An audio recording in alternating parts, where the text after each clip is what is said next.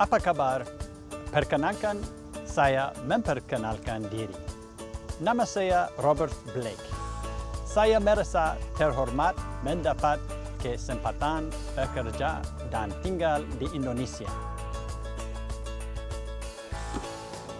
Our two countries have so much in common. We're both multi-ethnic, multi-religious democracies. We both value diversity and practice tolerance towards others. Indonesians say Bhinneka Tunggal Ika, and Americans say E pluribus unum. Out of many, one. The United States and Indonesia make a great team. This is my family. We're very excited to try more delicious Indonesian food and travel within Indonesia, seeing all that your amazing parks and islands have to offer. We love to swim, hike, and get out on the water.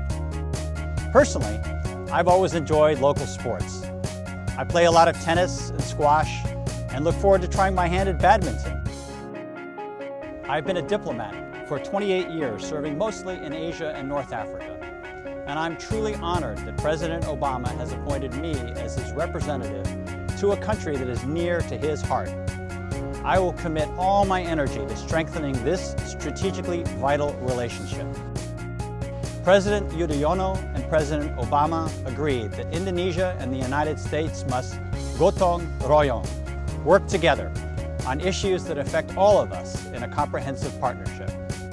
I look forward to working together with you in Indonesia shortly.